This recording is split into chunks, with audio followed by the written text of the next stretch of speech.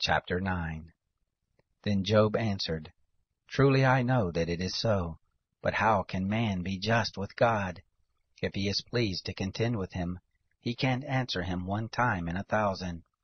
God, who is wise in heart and mighty in strength, who has hardened himself against him and prospered, who removes the mountains and they don't know it when he overturns them in his anger, who shakes the earth out of its place, the pillars of it tremble who commands the sun and it doesn't rise, and seals up the stars, who alone stretches out the heavens and treads on the waves of the sea, who makes the bear, Orion, and the Pleiades, and the chambers of the south, who does great things past finding out, yes, marvelous things without number.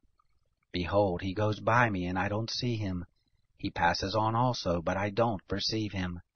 Behold, he snatches away, who can hinder him? Who will ask him, What are you doing? God will not withdraw his anger. The helpers of Rahab stoop under him. How much less shall I answer him, or choose my words to argue with him? Whom, though I were righteous, yet would I not answer. I would make supplication to my judge. If I had called, and he had answered me, yet I would not believe that he listened to my voice. For he breaks me with a tempest and multiplies my wounds without cause. He will not allow me to take breath, but fills me with bitterness. If it is a matter of strength, behold, he is mighty. If of justice, who says he will summon me? Though I am righteous, my own mouth shall condemn me. Though I am blameless, it shall prove me perverse. I am blameless. I don't regard myself. I despise my life. It is all the same, therefore I say, he destroys the blameless and the wicked.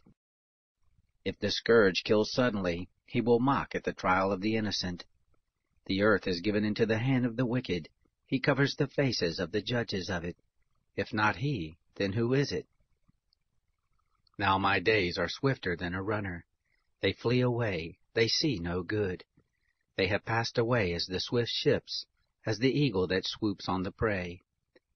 If I say, I will forget my complaint, I will put off my sad face and cheer up. I am afraid of all my sorrows. I know that you will not hold me innocent. I shall be condemned.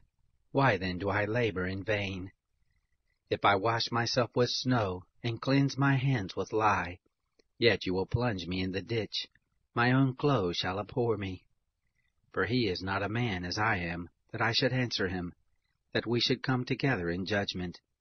There is no umpire between us that might lay his hand on us both.